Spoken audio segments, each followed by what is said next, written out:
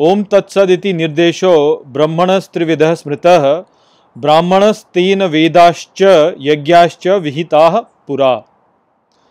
Hello friends friends this is the twenty third shloka of the seventeenth chapter of Bhagavad Gita and today we will understand this shloka in detail so let's first go its mean so the shloka says ओम तत्सदिति निर्देशो which means Om Tatsat this instruction ब्रह्मणस त्रिविध स्मृत which means is set to be Brahma in three ways ब्राह्मणस्तेन वेदाश्च which means by that the Brahmin and the Vedas यज्ञाश्च विहिता पुरा विच means and the yajna are preordained so Shri Krishna will now describe the importance of the mantra Om Tatsat He starts off by telling Arjun that uh, Om Tat Sat is said to be Brahma in three ways, and uh, it is through this that the Brahmanas Vedas and the Yagyas are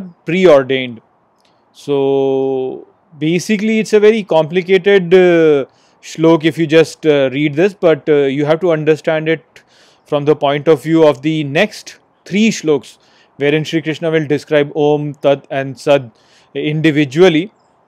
What we have to understand over here is that by the knowledge of uh, Brahma, one becomes a Brahman by the study of Vedas, one gains the knowledge of Brahma, and after knowing Brahma, one's action become aligned with the divine yajna which is uh, going on in this universe. When a person acts uh, in accordance with the divine yajna, then that pleases the Lord, and in this way, the person rises to the level of uh, Brahman. So, this entire process of one's rise to divinity is determined by living the life in accordance with the mantra Om Tat Sat. And we have to understand that. So, Sri Krishna will start to now describe uh, Om Tat Sat individually, Om Tat and Sat. And by understanding that, one can then rise up uh, to the level of divinity.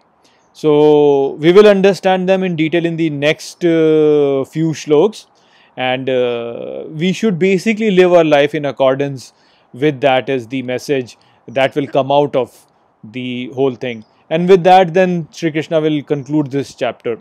So, we will understand more about that in the next few shloks. Over here, we just have to understand that Om Tat Sat is a very important mantra, and we should all live our life in accordance with that.